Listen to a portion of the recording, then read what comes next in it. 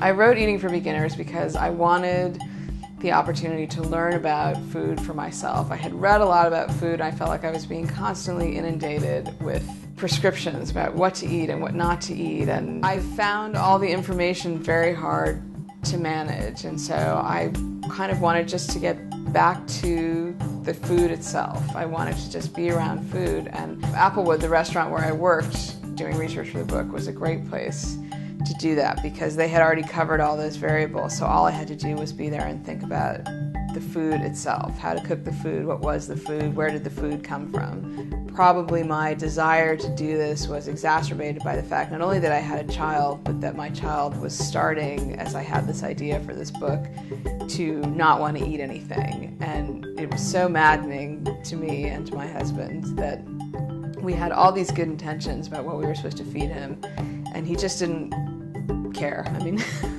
as kids often don't care about what their parents care about. So I think it was it that was sort of a, a little bit of external pressure that maybe you know pushed me forward. But really, I wanted to know this for myself. I was tired of being in the supermarket or at the, the green market and not knowing what to buy or seeing things, especially at the, at the green market, that looked great but that I had no idea what to do with. Eating for Beginners is about journeys. It's about a journey through a restaurant kitchen to become a better chef. It's about journeys, literal and figurative, to various farms to learn how food is produced, small farms, and it's about the crazy journey of being a parent to, you know, a child who is wonderful but but rebellious when it comes to food.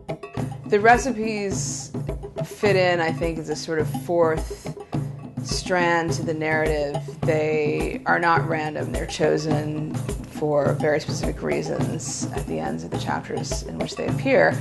It's sort of a little side benefit of the book, I think, that you know you don't have to spend a year cooking in the kitchen at Applewood to actually be able to reproduce, hopefully, some of the things that they make.